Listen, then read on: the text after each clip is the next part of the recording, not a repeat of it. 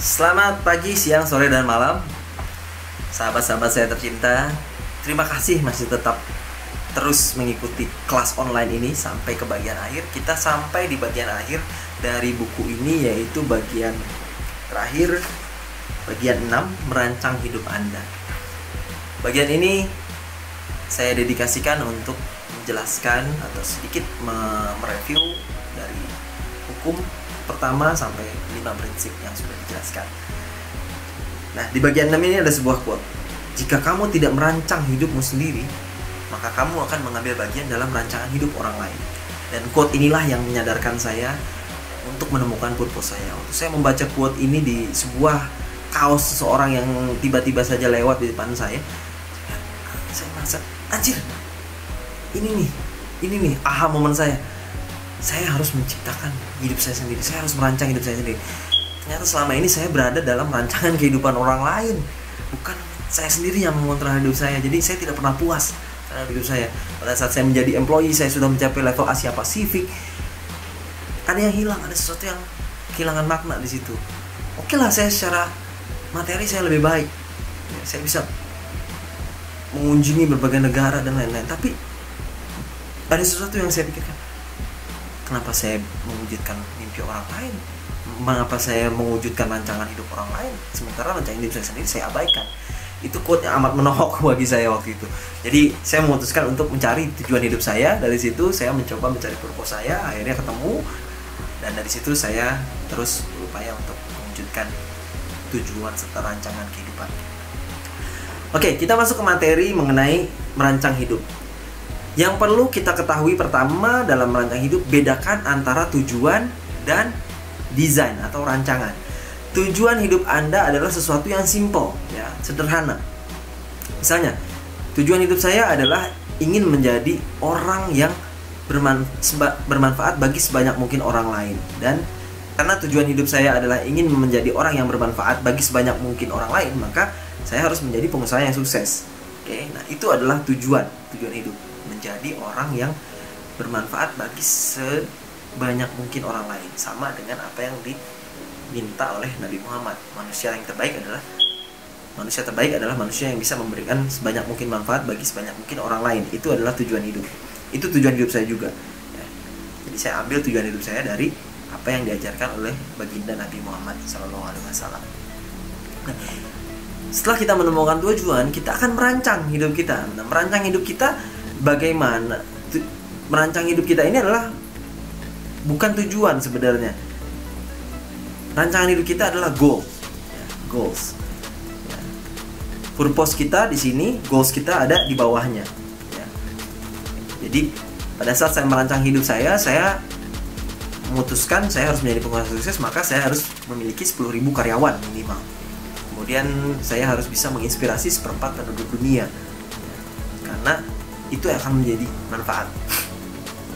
Karena di agama saya saya diajarkan bahwa salah satu amal yang tidak akan putus walaupun saya sudah meninggal dunia saya sudah tidak ada di alam ini tidak tidak ada di dunia ini sudah kembali ke alam lain ya. Salah satu amalan yang tidak akan berhenti ditimbang dihitung oleh Tuhan oleh Allah adalah ilmu yang bermanfaat. Selain tentunya adalah eh, amal jariah dan doa anak soleh. Ini tiga kunci sebenarnya. Jadi tujuan hidup saya ya saya ingin menjadi manusia yang bisa bermanfaat untuk sebanyak mungkin orang lain. Minimal saya bisa menginspirasi seperempat penduduk dunia. Ya, itu tujuan hidup saya. Sorry desain hidup saya. Kemudian sebanyak mungkin artinya seberapa banyak? Saya ingin mengunjungi 120 negara. Bayangkan if your dream don't scare you it's not big enough. Jadi saya punya mimpi yang ya entahlah. Bisa dibilang gila silahkan. Menakutkan silahkan. Justru itu yang saya cari. Karena kalau mimpi kita tidak membuat kita takut itu tidak cukup besar. Bayangkan bagaimana rasanya anda punya 10.000 karyawan? Menakutkan nggak? Buat saya itu cukup menakutkan. Gimana cara ngelolanya gitu? Saya yang cuma ratusan aja puluhan mungkin sudah bingung cara me, me, mengaturnya gitu memanagenya. Ini 10.000 karyawan gitu. nah itu. Nah kemudian sorry saya agak sedikit sembab karena mengingat tujuan hidup saya yang amat keren jadi terbawa suasana nah Anda harus merancang hidup Anda sendiri. Karena tidak ada orang lain yang akan membantu Anda mengubahnya, mewujudkannya. Anda sendiri yang bisa mengubahnya. Dan itu sudah di, disebutkan di di kitab suci ya. Allah tidak akan merubah nasib suatu kaum kalau dia tidak merubah dirinya sendiri.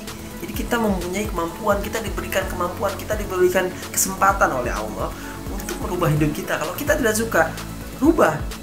Anda bukan daun, Anda bukan batu. Kalau batu tidak suka ya udah dia diam. Tapi Anda manusia, Anda diberkahi kemampuan untuk berpikir, otak untuk berpikir, untuk merubah sesuatu. Ya, prinsipnya sudah diajarkan di prinsip-prinsip sebelumnya. Ya. Oke, nah itu pentingnya anda merubah. Tanyakan pada hidup anda sendiri saat ini.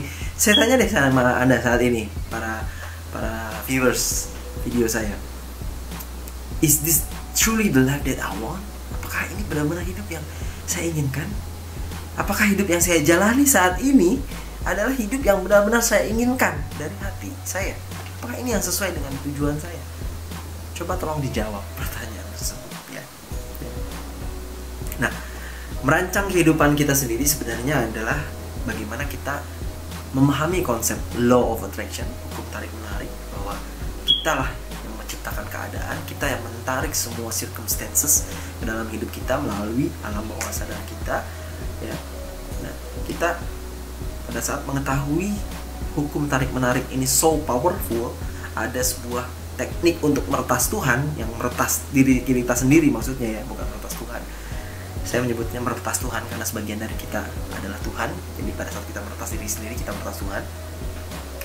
Maka kita perlu untuk merancang hidup kita sebaik mungkin dengan menggunakan konsep atau hukum tarik menarik yang sudah dijelaskan di buku tersebut ya. Nah pada saat anda menemukan tujuan hidup anda kemudian anda merancang hidup anda dengan menuliskan 100 hal yang harus anda lakukan dalam perjalanan dalam uh, materi dalam aktualisasi diri dalam level spiritual dan lain sebagainya maka itu adalah rancangan itu desain. Tujuan anda di sini desain anda tadi 100 hal tadi yang harus anda lakukan yang harus anda lakukan sebelum anda mati ya. Nah, pada saat Anda memiliki tujuan atau rancangan hidup yang demikian besar, ingat, Anda akan memerlukan waktu yang cukup lama ya untuk mewujudkan rancangan tersebut. Ya, jadi kalau Anda punya rancangan untuk menjadi pengusaha dengan lima orang atau 10 orang karyawan, mungkin waktu untuk proses terbentuk terwujudnya itu akan lebih cepat dibandingkan orang-orang yang memiliki mimpi seperti saya. Ingin punya 10.000 karyawan. Saya belum tahu saya juga belum tahu akan seberapa lama saya membutuhkan waktu. Mungkin sampai akhir waktu.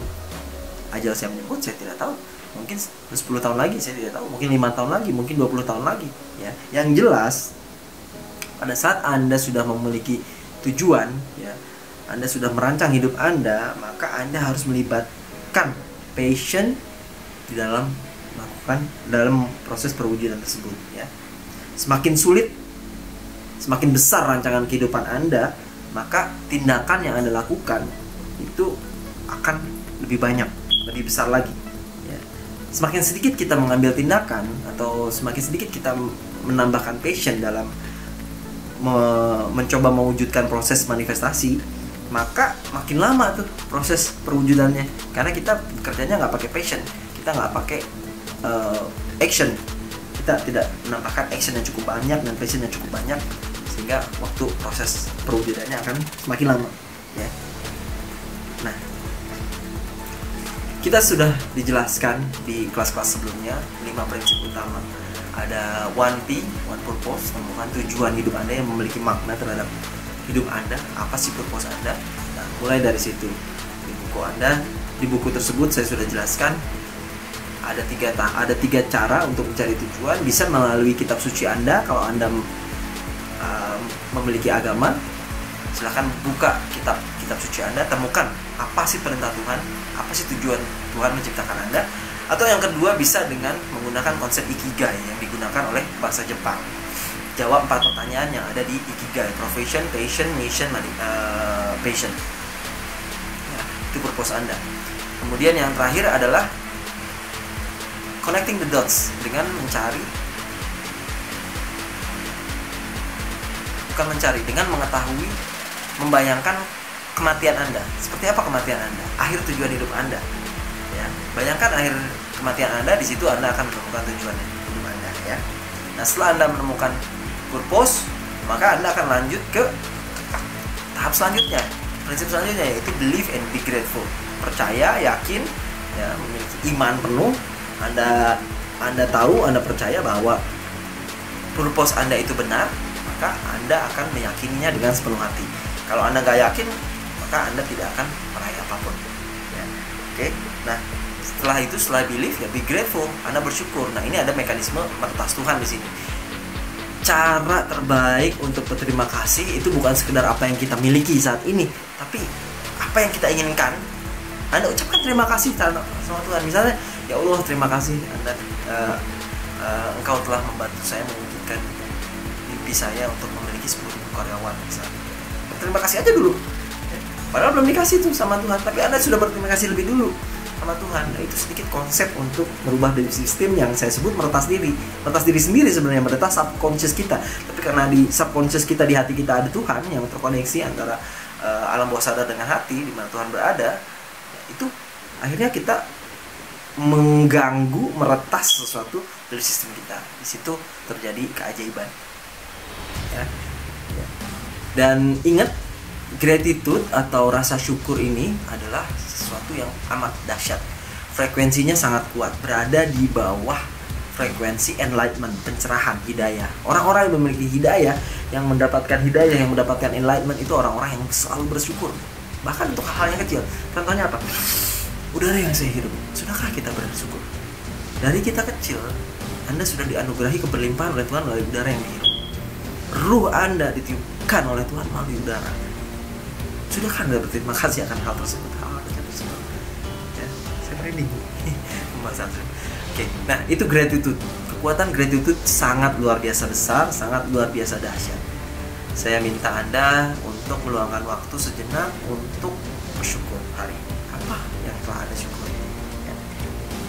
Nah, kemudian selain bersyukur juga kita harus melepas beban kita di masa lalu pada saat kita sudah apa namanya sudah memahami semuanya terhubung. Jadi pada saat kita ingin merancang kehidupan kita di masa depan jangan sampai masa lalu anda ini membebani anda. Masa lalu anda apa contohnya? Anda pernah disakiti oleh orang lain. Anda pernah dizolimi. Anda pernah dikecewakan. Anda pernah mengalami kegagalan.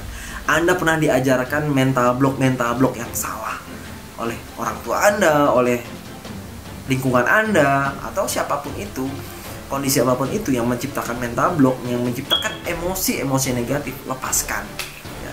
lawan jangan sampai itu menjadi servo mekanisme ya. Anda perlu mencari mental block Anda kemudian Anda perlu melakukan afirmasi ulang install ulang program bawah sadar Anda kemudian yang terpenting Anda mengambil konsep bahwa Anda bertanggung jawab penuh terhadap kehidupan Anda karena Anda adalah pencipta, co-kreator bagi kehidupan Anda. Jadi apa pun yang terjadi di masa lalu itu adalah tanggung jawab Anda. Ya. Anda di Anda dikecewakan oleh orang lain. Itu tanggung jawabnya ada di Anda bukan orang lain. Jangan salahkan orang lain. Jangan salahkan siapa pun bahkan.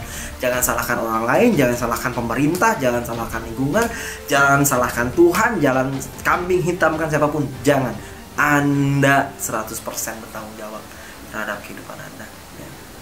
Pada saat Anda mengenal mengetahui konsep tersebut, Anda akan mengambil kepercayaan, Anda akan mengambil 100% tanggung jawab bahwa Anda lah yang bertanggung jawab terhadap kehidupan Anda sendiri, bukan orang lain.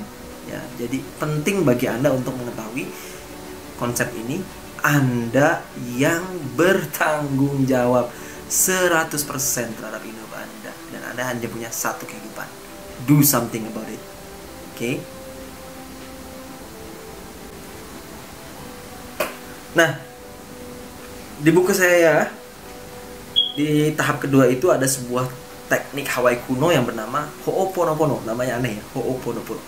Ho'oponopono ini adalah kata-kata ajaib yang membantu kita sebuah konsep yang membantu kita untuk membuang semua emosi negatif baik di masa lalu, masa kini maupun masa depan. Anda bertanggung jawab 100% terhadap hidup Anda. Jadi pada saat ada emosi negatif di masa lalu, Anda dikecewakan, Anda marah, anda feeling apa namanya hate benci sama orang tersebut. Padahal kita tahu kalau lihat frekuensi yang membuat anda menjadi kerdil yang mengerdilkan hidup anda ya di bagian bawah itu ada fear ada anger ada apa lagi macam-macam hate dan lain-lain yang berwarna merah itu yang akan menyebabkan anda sulit untuk maju. Anda terbebani oleh hal tersebut. Lepaskan. Bagaimana cara melepaskannya? Yaitu tadi gunakan teknik Ho'oponopono. Ucapkan empat kata-kata ajaib ya I'm sorry, maafkan aku, please forgive me, aku menyesal. Thank you, terima kasih, dan terakhir, I love you, aku mencintaimu. Bagai, bayangkan, Anda membenci seseorang, tapi Anda mengatakan hal tersebut berulang-ulang kembali. Bagaimana rasanya?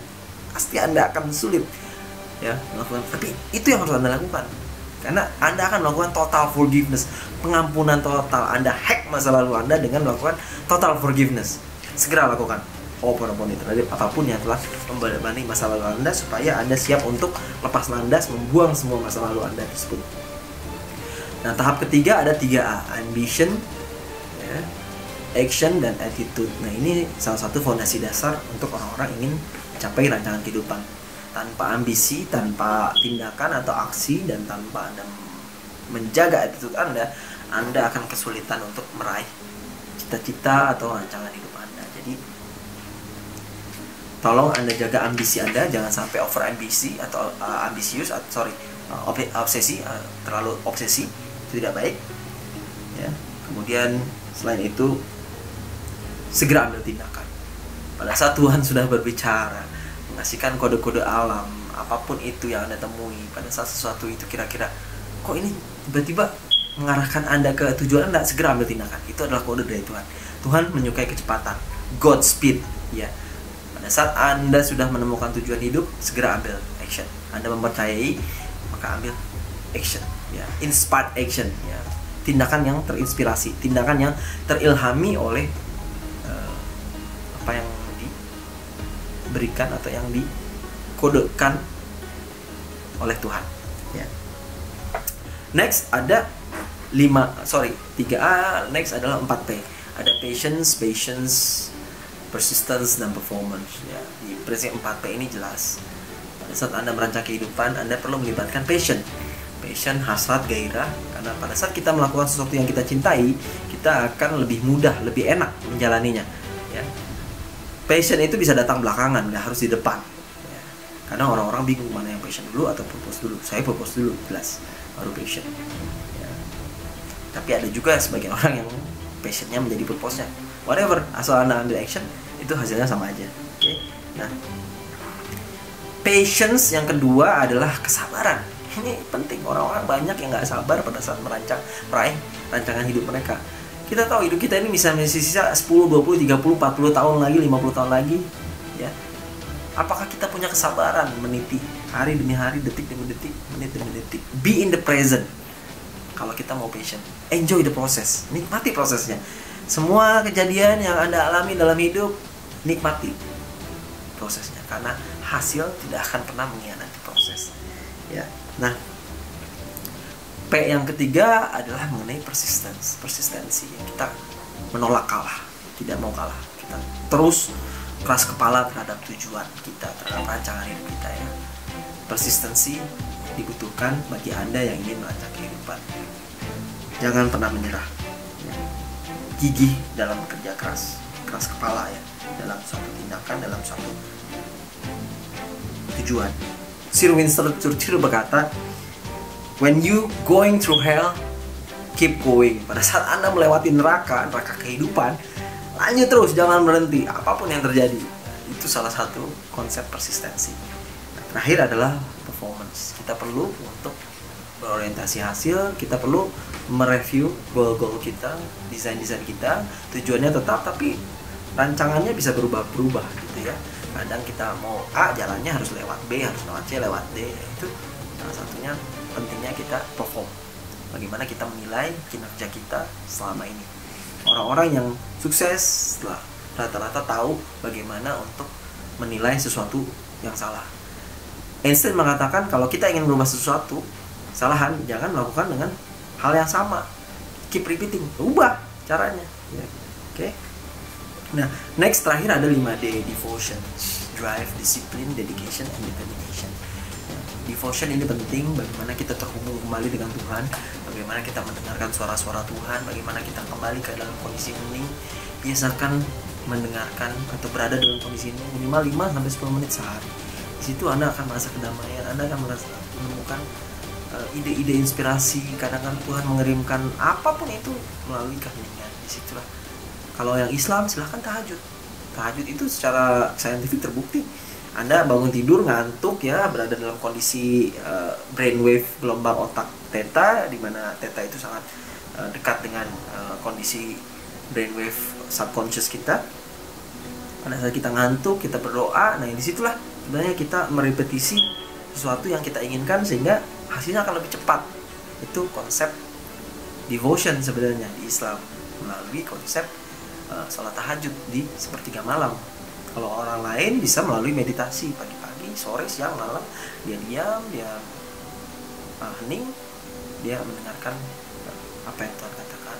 Selanjutnya di drive itu bagaimana anda tetap termotivasi dalam mencoba mewujudkan rancangan hidup. Dan D yang selanjutnya yaitu disiplin dedication dan determination ini erat kaitannya dengan kerja keras kerja keras kerja keras pantang menyerah apa pun yang terjadi Anda terus memiliki dedikasi, determinasi dan disiplin diri Anda untuk mencoba meraih tujuan serta rancangan hidup yang sudah Anda raih. Di konsepnya simple, kalau Anda ingin merancang kehidupan, ikuti aja connecting the dots. Dari hukumnya Anda ketahui, prinsipnya yang lima tadi dari awal, 1P, 2B, 3A, 4P dan terakhir 5D. Itu adalah kunci utama apabila Anda ingin sukses dalam merancang kehidupan Anda sendiri. Jadi, akhir kata saya hanya ingin mengucapkan terima kasih karena Anda sudah sudi membaca buku saya, mengikuti kelas-kelas saya di sini, mengikuti ocehan-ocehan saya di sini ya di buku ini. Dan saya hanya ingin mengucapkan selamat kepada Anda yang telah memutuskan mendesain merancang kehidupan Anda sendiri. Mudah-mudahan Anda selalu diberikan kemudahan, mudah-mudahan Anda Tuhan selalu jawab doa-doa Anda. Sampai bertemu di puncak. Akhir kata kalau Anda mengundang saya ke pemakaman Anda tolong kasih tahu ya. Siapa tahu saya punya umur yang lebih panjang jadi saya bisa hadir.